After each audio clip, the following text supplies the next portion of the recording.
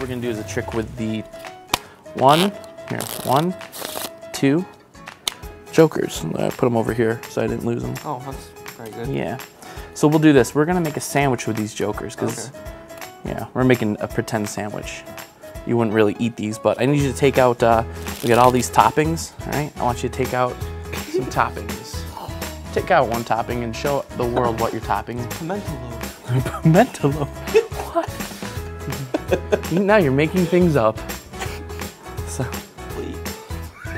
so we'll put your um, we'll put it back in the deli. So I don't know what topping you had here, but we're going to use the bread, and they're going to find what your topping was. So we're gonna put that kind of near where your card went, and give it a shake like that.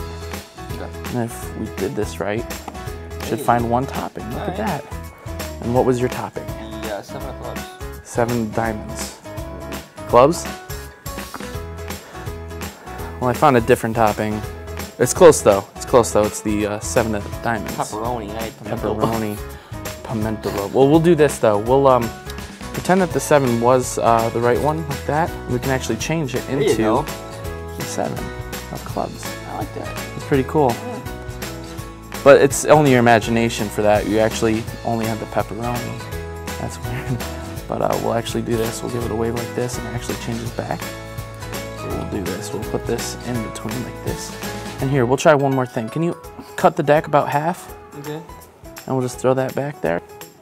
Square it all up. Go one, two, three. Nice. Came out on two. Did you see that? Those are eight. Your pimento loaf. I like that. No. That's nice. That's it. Now eat it. Can I keep this? Eat it. That's the works.